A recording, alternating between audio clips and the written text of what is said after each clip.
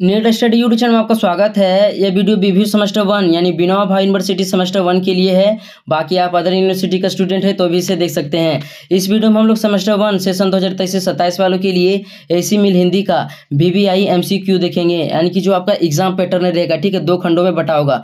Group A और group B तो group A वाला जितना सारा प्रश्न रहेगा, सारा प्रश्न आपको यहीं से देखने को मिलेगा। इसी तरह से आपका प्रश्न रहेगा, ठीक है। तो चाहे आप कोई भी स्टूडेंट हो B A B S C B com जाते जाते आप इन सभी प्रश्नों को एक बार देख लीजिए, ठीक है? तो चलते हम लोग प्रश्न को देखते हैं।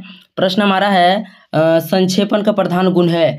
तो इसका आंसर हो जाएगा संक्षिप्तता। आपको रटना नहीं, आपको केवल सुन लेना है। संक्षेपण का प्रधान गुण है तो क्या है? संक्षिप्तता। दूसरा प्रश्न है, संक्षेपण का विलोम शब्द है तो इसका आंसर हो जाएगा पल्लवन। संक्षेपण का मतलब होता है छोटा रूप और पल्लवन का मतलब होता है विस्तारित रूप, ठीक है? तो यहाँ पर संक्षेपण का विलोम शब्द हो जाएगा पल्लवन, ठीक? अगला प्रश्न देखते हैं। तीन नंबर का प्रश्न हमारा है पल्लवन की लिखने की शैली कैसी होनी चाहिए? तो इसका आंसर हो जाएगा व्यास शैली। पल्लवन की लिखने की शैली कैसी होनी चाहिए? व्यास शैली। ठीक है? चौथा प्रश्न हमारा है, पल्लवन का दूसरा नाम क्या है? तो इसका आंसर हो जाएगा भाव विस्तार। पल्लवन का दूसरा नाम क्या है? भाव विस्तारण। ठीक है? भाव विस्तारण। अगला देखते हैं। पांचवा प्रश्न हमारा है, प्रारूपण को जानते हैं।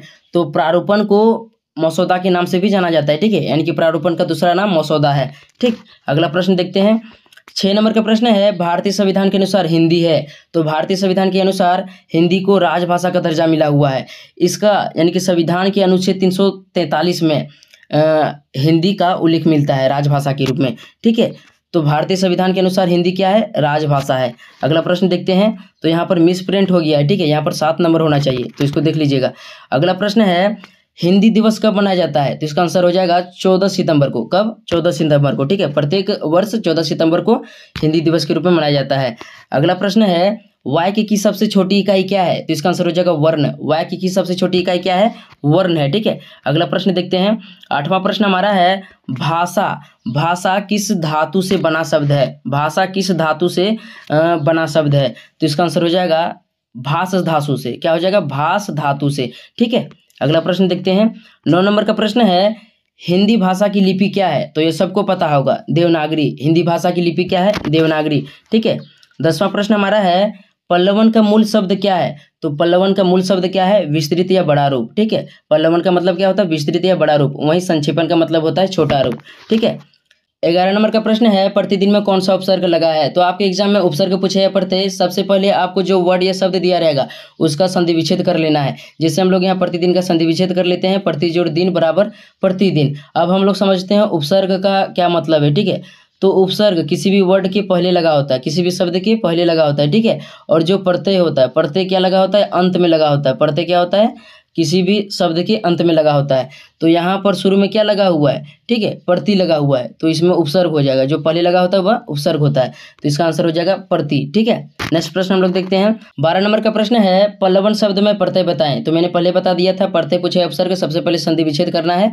ठीक है? तो यहाँ पल्लव जोड़ अन्न लास्ट में क्या लगा हुआ है? अन्न लगा हुआ है। जो लास्ट में लगा होता है, शब्द के अंत में, वह प्रत्यय होता है। तो इसका आंसर हो जाएगा यहाँ पर अन्न ठीक है?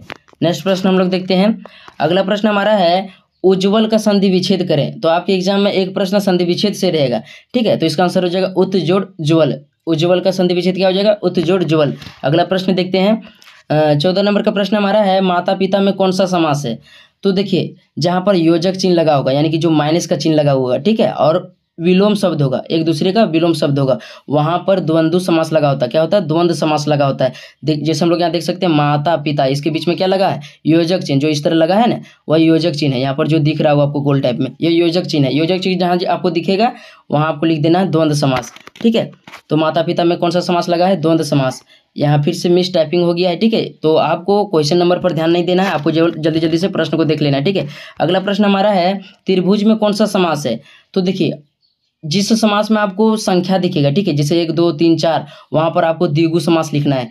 जैसे त्रिभुज में, त्रि जो है, वह तीन को दिखा रहा है, संख्या को दिखा रहा है तो यहाँ पर हो जाएगा द्विगु समास, ठीक है? नेक्स्ट प्रश्न हम लोग देखते हैं। पंद्रह नंबर का प्रश्न है, साम स्त्रीलिंग है या पुलिंग? तो इसका आंसर हो जाएगा पुलिंग। साम क्या है? पुलिंग है, ठीक है? तो स्त्रीलिंग या पुलिंग शब्द से भी आपका एक क्वेश्चन बनेगा एग्ज़ाम में। अगला प्रश्न देखते हैं हम लोग। सोलह नंबर का प्रश्न है, राम ने रोटी खाई, इसमें कौन सा कारक चिन्ह लगा है? तो इसका आंसर हो जाएगा कर्ता कारक। देखो, सबसे पहले आपको कारक चिन्ह याद करना पड़ेगा। कारक चिन्ह आठ होते हैं, ठीक है? आठ प्रकार के कारक चिन्ह होते हैं, जैसे कर्ता ने कर्म को, करण से संप्रदान को के लिए पादान से, संबंध, काके की, अधिकरण, में पर, और संबोधन, अरे, अजी, अहो, इस प्रकार से। तो देखिए, सबसे पहले कारक चिन्ह क्या है? ने है तो होता है कर्ता ने, ठीक है? तो यहाँ पर लगा है कर्ता कारक, ठीक है? तो आशा करते हैं वीडियो अच्छा लगा होगा तो चैनल में तो चैनल को सब्सक्राइब कर लीजिए, ठीक है? आपका एग्ज़ाम अच्छा सा जाएगा, बेस्ट ऑफ़ लक, मिलते नेक्स्ट वीडियो में, तब तक के लिए धन्यवाद।